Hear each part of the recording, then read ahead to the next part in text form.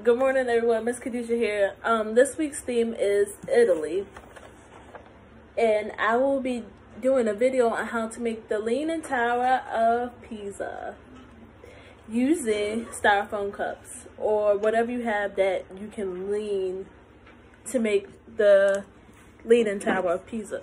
So I have styrofoam cups.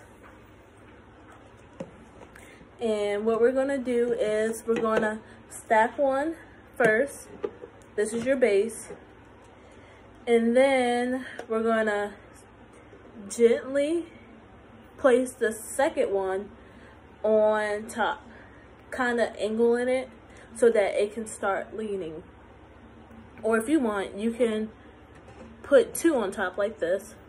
And then the third cup, I have five cups by the way, um, the third cup can start leaning and then you're going to add the fourth cup and it's going to lean. Let me bring it to the camera. And then the second cup.